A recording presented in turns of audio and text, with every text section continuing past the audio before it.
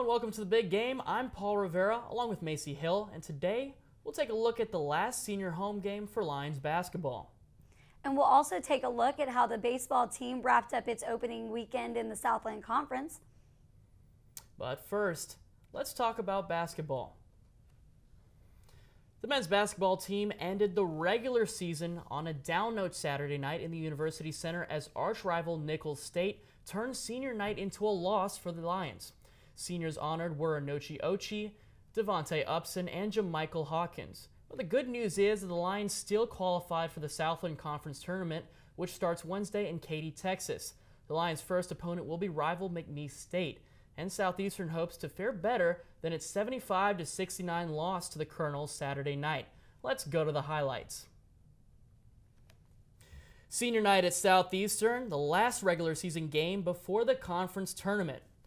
Now, who we have early in the first half, Devonte Upson would bang it in, take it over in the post.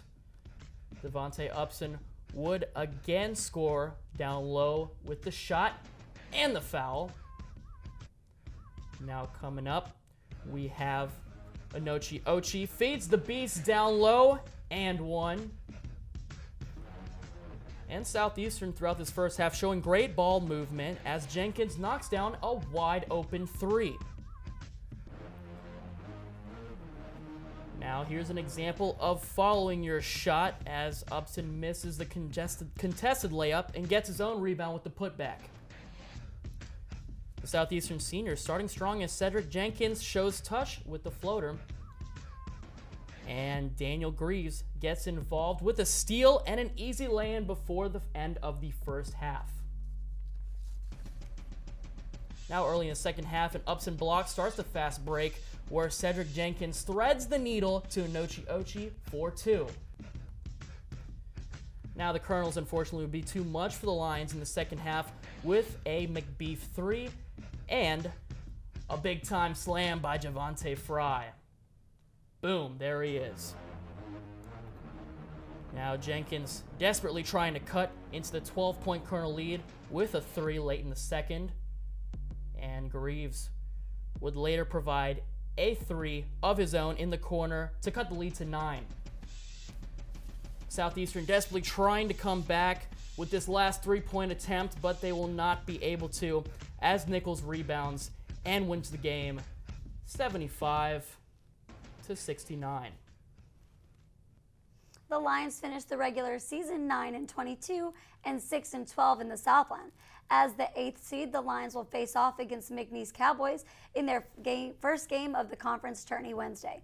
Big game reporter Jennifer Babcock is at the University Center live with the tournament prospects for the men's basketball team. Jen? The Southeastern men's basketball team has clinched the final spot in the Southland Conference tournament where they will face the McNeese State Cowboys tomorrow at 5 in Katy, Texas.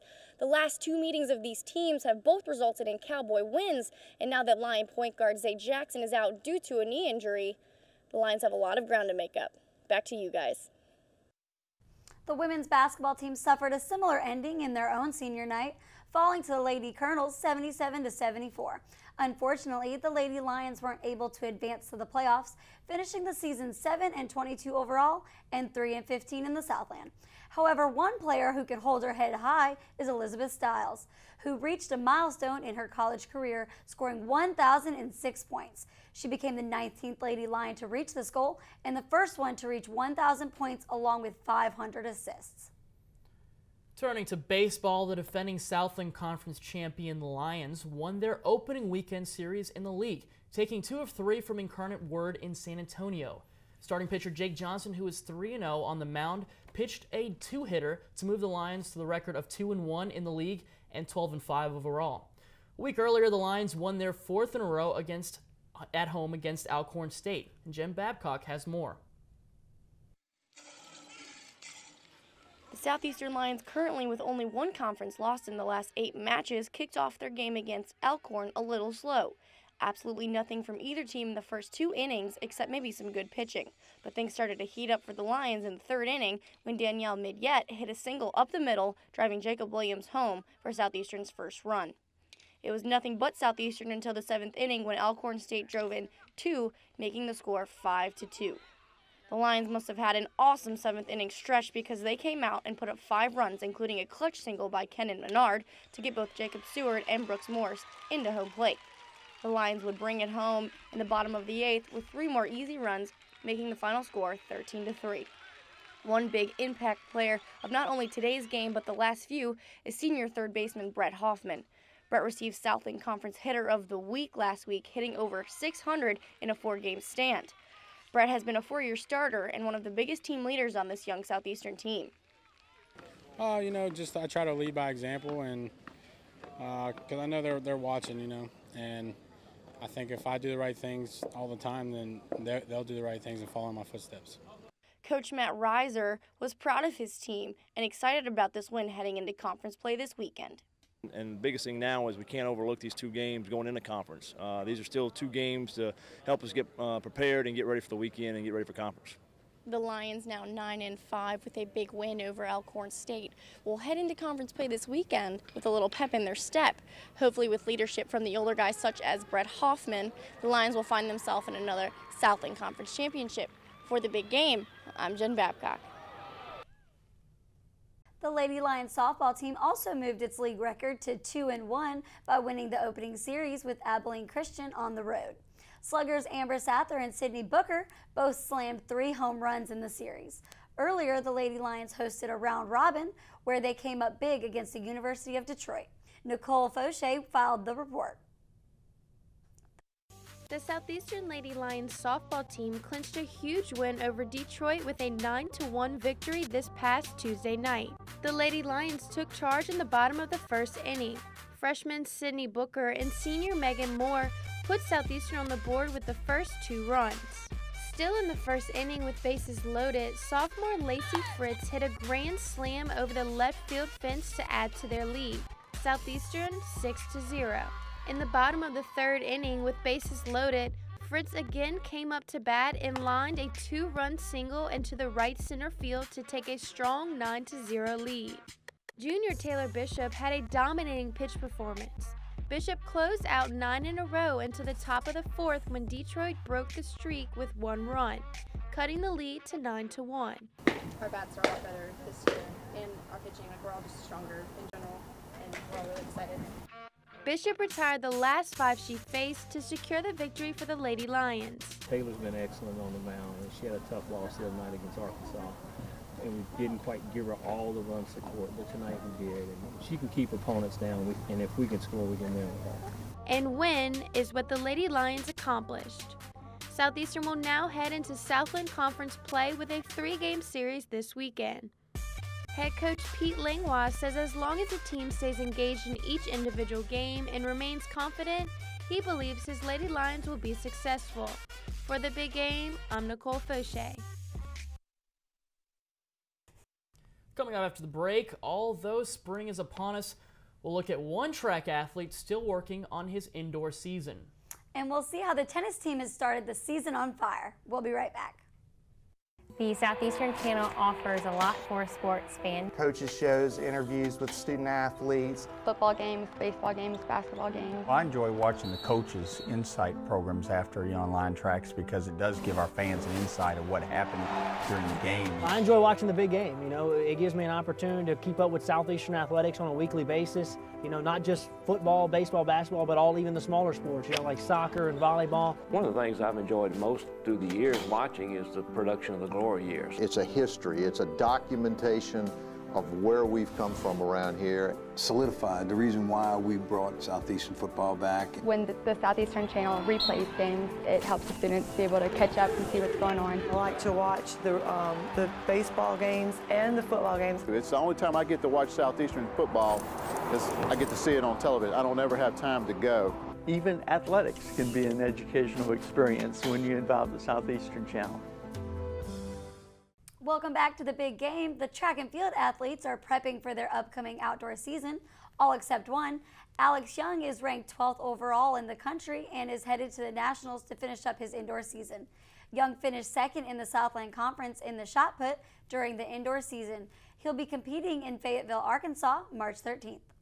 I was uh, plagued by a little bit of injury last season, so you know I struggled a little bit. Didn't have a bad meet, but you know I definitely wanted to be better. But it was a learning curve. So you know, coming back this time around, I'm more confident and I'm ready to go compete with the big dogs, quote unquote. The tennis team opened up guns blazing in this past weekend's tournament. They proudly defended their home court twice against Lamar and LSU of Alexandria. The Lady Lions dropped the Lady Cardinals 5 2 and shut out LSU A6 Love. Southeastern is 5 1 overall and 2 0 in the Southland. The Lions golf team finished in sixth place at the 13th annual Louisiana Classic on Tuesday with a team score of 16 over par 880. The team was led by sophomore James Antis and senior Grady Brave, both of whom finished the top 20. Antis had a 2 over par 218 to finish in a tie for 12th. Brave finished a stroke behind for 17th. The two time defending Southland Conference champion Southeastern football team continues its work in spring practice. The Lions are making a transition on the defensive side with new coordinator Blake Williams, who was hired in late February. Williams replaced Carl Scott, and the spring game is scheduled for March 28th in Strawberry Stadium. Coming up after the break, Anissa De La Cruz will join us for the pick and roll. The big game will be right back.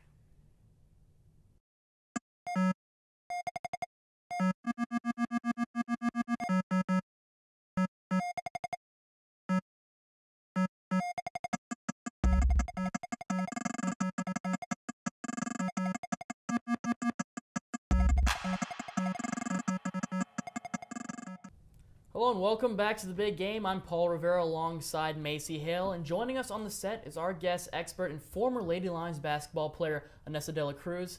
Thanks for joining us, Anessa. Thank you. Okay, so let's talk about Southeastern basketball and their chances moving on, getting into the playoffs. Macy, what do you think?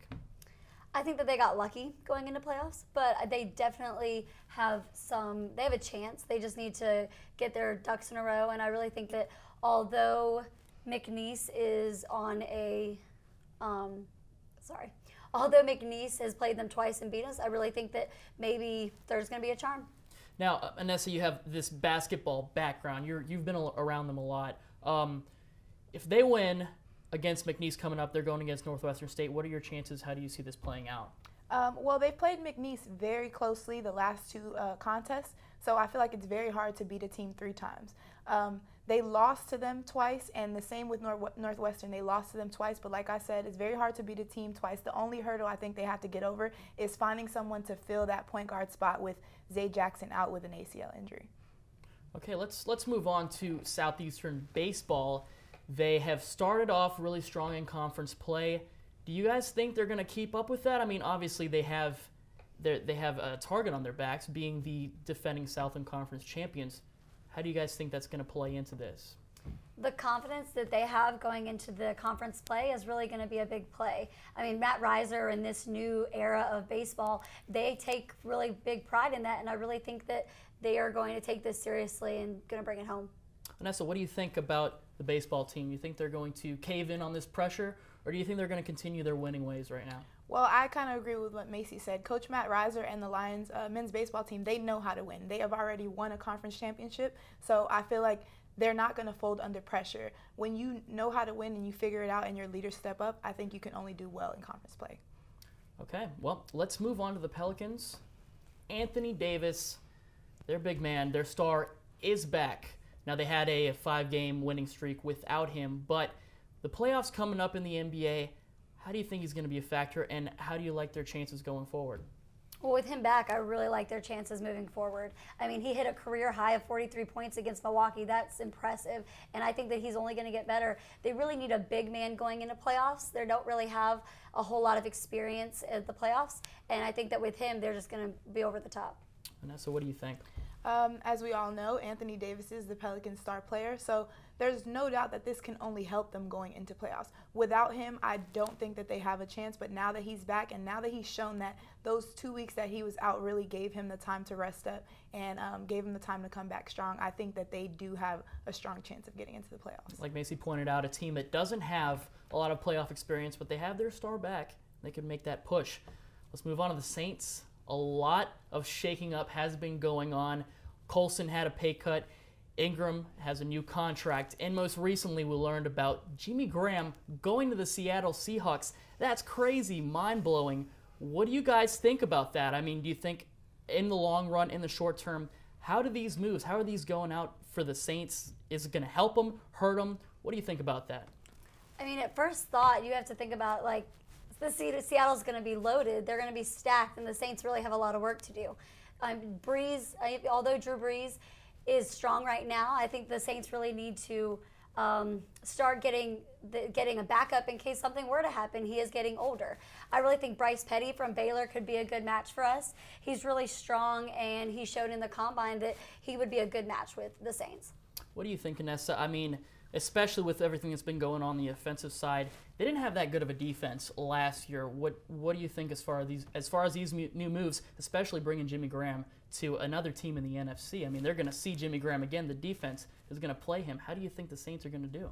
Well, the NFC is a very very tough conference, and um, from the previous Super Bowl, we see that defense, the defensive side is going to win the football game. Um, teams know how to score offensively. I feel like if you have a strong quarterback, if you have strong receivers, you're going to do well. You're going to be able to score, but it's about the team who can stop the uh, the other team from scoring touchdowns. So I think these moves that they're making, uh, losing Jimmy Graham was probably not the best option, but we'll see who they're able to get to replace him. I know she Macy already touched on the the QB situation. What do you think as far as moving forward about Drew Brees and all of that? Um, I think uh, Drew Brees is uh, definitely an experienced quarterback. He's getting older and. Um, just going off of last year, I think the Saints really need to look at um, shaking up the entire offensive lineup and possibly looking for a new quarterback. Um, coming out of the draft, Jameis Winston has the Heisman accolade under his belt, and I know it doesn't seem that plausible, but just like nobody expected Jimmy Graham to go to the Seahawks, we could see that happening, and uh, the Saints could shock the world. That would be crazy. Any final thoughts, Macy? I really think that the Saints could could benefit from getting a cornerback. They, with all the other changes they're making, I think that that would only benefit them.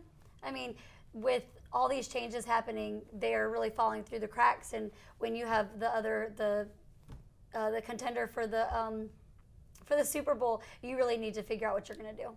Well, it's going to be uh, really exciting, really exciting offseason turning out right now. I mean, that's it for this episode of the Big Game. Thank you all for joining us. We hope you'll join us again next time for some more Lions sports. For the latest in Southeastern athletics, please visit www.lionsports.net. For Macy Hill and Anessa De La Cruz, I'm Paul Rivera, and as always, thanks for watching.